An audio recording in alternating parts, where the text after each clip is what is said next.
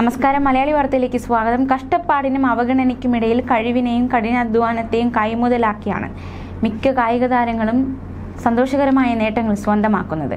ദിശ തെറ്റാതെ കൃത്യവും നിരുപാധികവുമായ പിന്തുണ ഇവർ ഓരോരുത്തരും അർഹിക്കുന്നുണ്ട്.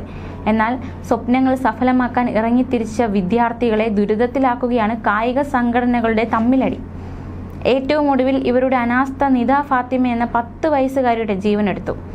മറ്റ് സംസ്ഥാനങ്ങളിൽ മത്സരങ്ങൾക്കായി പോകുന്ന കായിക താരങ്ങൾക്കുൾപ്പെടെ അടിസ്ഥാന സൗകര്യങ്ങൾ പോലും നിഷേധിക്കുന്ന തരത്തിലേക്ക് ഈ പോര് നീണ്ടതിന് പിന്നിൽ സംസ്ഥാനത്തിനും കേന്ദ്രത്തിനും ഇച്ഛാശക്തി ഇല്ലാതായതാണ് കാരണം. ഇനി ഒരു നിദാ ഫാത്തിമയുടെ പുഞ്ചിരി മായ്ക്കാൻ സംഘടനകളിലെ റിപ്പീറ്റ് ഇനി ഒരു നിദാ ഫാത്തിമയുടെ പുഞ്ചിരി മായ്ക്കാൻ സംഘടനകളിലെ രാഷ്ട്രീയ സ്വാധീനവും തമ്മിലടിയും ഇടയാക്കാതിരിക്കാൻ ജാഗ്രത ഉണ്ടായേ തീരൂ.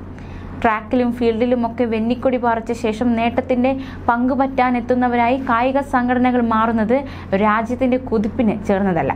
ഫുട്ബോൾ ലോകകപ്പ് ഇന്ത്യയിലെത്തുന്ന കാലം വിദൂരമല്ലെന്ന് പറഞ്ഞ പ്രധാനമന്ത്രി അധികാരത്തിലിരിക്കുന്ന രാജ്യത്താണ്. വൃത്തിയുള്ള താമസ സൗകര്യവും ആഹാരവുമില്ലാതെ ഒരു പറ്റം കായിക താരങ്ങൾ ദിവസങ്ങൾ തള്ളി നീക്കിയത്. നാഗ്പൂരിൽ ദേശീയ സൈക്കിൾ പോളോ ചാമ്പ്യൻഷിപ്പിനെത്തിയ നിത ഫാത്തിമ അടങ്ങിയ ഇരുപത്തിനാലംഗ സംഘം സംസ്ഥാന സ്പോർട്സ് കൗൺസിൽ അംഗീകരിച്ച കേരള സൈക്കിൾ പോളോ അസോസിയേഷൻ ടീമിലായിരുന്നു. സംസ്ഥാന ചാമ്പ്യൻഷിപ്പിന് പോലും കുട്ടികളെ പങ്കെടുപ്പിക്കാതെ വിചിത്ര സെലക്ഷൻ നടത്തി ദേശീയ മത്സരങ്ങൾക്ക് വിടുന്നതും പുതിയ കാര്യമല്ല. പേരിന് മാത്രം നടത്തുന്ന സെലക്ഷൻ ട്രയൽസിന്റെ മാനദണ്ഡം എന്തെന്ന് അറിയാവുന്നവർ ചുരുക്കം. സംസ്ഥാന സ്പോർട്സ് കൗൺസിലും കായിക വകുപ്പും ഉൾപ്പെടുന്ന സംവിധാനങ്ങളെ നിശബ്ദ സാക്ഷിയാക്കിയാണ് ഇതൊക്കെ നടക്കുന്നത്. സൈക്കിൾ പോളോയിൽ മാത്രം ഒതുങ്ങുന്നതല്ല ഈ പോര്. വോളിബോളിൽ രാജ്യത്തിന് അഭിമാനിക്കാവുന്ന നേട്ടങ്ങൾ സമ്മാനിച്ച കേരളത്തിൽ വോളിബോൾ അസോസിയേഷന് സർക്കാർ അംഗീകാരമില്ല. രണ്ടായിരത്തി ഇരുപത്തൊന്ന് ഒക്ടോബർ ഒന്നിനാണ് സ്പോർട്സ് കൗൺസിൽ കേരള വോളിബോൾ അസോസിയേഷന്റെ അംഗീകാരം റദ്ദാക്കിയത്.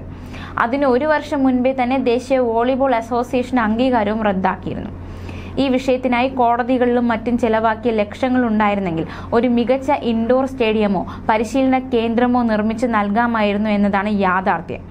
ഒടുവിൽ അസോസിയേഷനെതിരെ സുപ്രീം കോടതിയുടെ ഫൗൾ വിസിൽ മുഴങ്ങിയതോടെ ദേശീയ ഗെയിംസിന് സ്പോർട്സ് കൗൺസിൽ ടീം തന്നെ ഫൗ നഗറിലേക്ക് പറക്കുകയായിരുന്നു. ദേശീയ സൈക്കിൾ പോളോ സബ് ജൂനിയർ ചാമ്പ്യൻഷിപ്പിൽ പങ്കെടുക്കാൻ നാഗ്പൂരിലെത്തിയ പത്ത് വയസ്സുകാരി ഫാത്തിമ നിദാസ് ഷിഗാബുദ്ദീന്റെ മരണവുമായി ബന്ധപ്പെട്ട് വിശദമായ അന്വേഷണം നടത്തണമെന്നാവശ്യപ്പെട്ട് മഹാരാഷ്ട്ര മുഖ്യമന്ത്രിക്ക് മന്ത്രി വി ശിവൻകുട്ടി കത്തയച്ചു. അന്വേഷണവുമായി ബന്ധപ്പെട്ട എല്ലാ സഹകരണവും കേരള സർക്കാരിന്റെ ഭാഗത്തു നിന്നുണ്ടാകുമെന്നും മന്ത്രി കത്തിൽ അറിയിച്ചിട്ടുണ്ട്. മത്സര വിജയം ലക്ഷ്യമാക്കി ഇറങ്ങിയ മകൾക്ക് മുത്തവും ഒപ്പം കണ്ണീർ പ്രാർത്ഥനയും നൽകി യാത്രയാക്കിയ മാതാപിതാക്കൾ അറിഞ്ഞിരുന്നില്ല. തങ്ങളുടെ നിത ഇനി ഒരിക്കലും തിരിച്ചു വരില്ലെന്ന്. സ്വന്തം മകളെ കാണാൻ അതിയായ ആഗ്രഹത്തോടെ എത്തുന്ന അച്ഛൻ മകളുടെ മരണവാർത്ത ടി വി ഫ്ലാഷുകളിൽ മിന്നി മറയുന്നത് കാണേണ്ടി വന്ന ദുരവസ്ഥയിലാണ് നിത ഫാത്തിമയുടെ കാര്യത്തിലും സംഭവിച്ചത്. ന്യൂസ് ഡെസ്ക് മലയാളി വാർത്ത.